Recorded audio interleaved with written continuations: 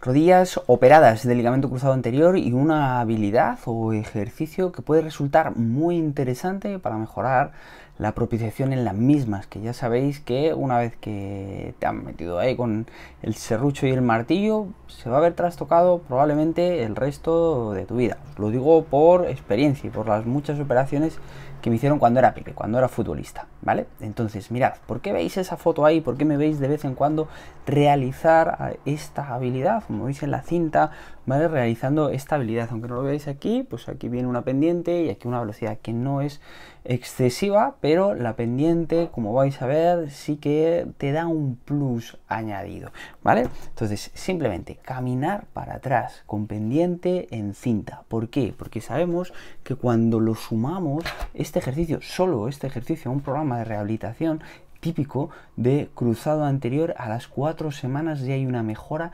sensible en la propiocepción de la rodilla.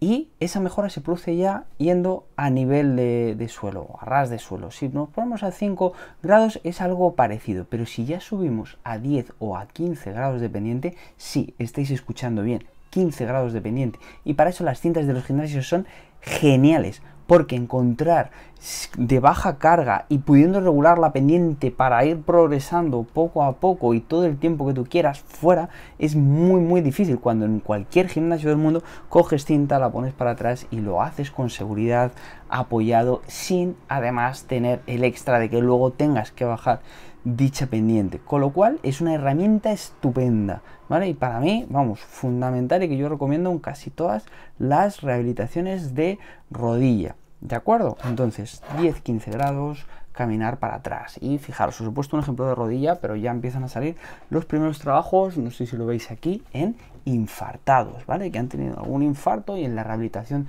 de la marcha que se les produce ya se empiezan a meter sesiones desde el inicio de caminar hacia atrás teniendo bastantes buenos resultados. Lo curioso es que no solo se tienen buenos resultados en la marcha hacia atrás, sino que se transfiere en los resultados del caminar hacia adelante.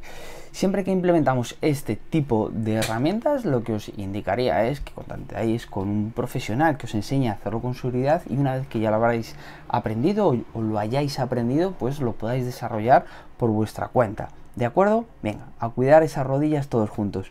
Un buen inicio de semana.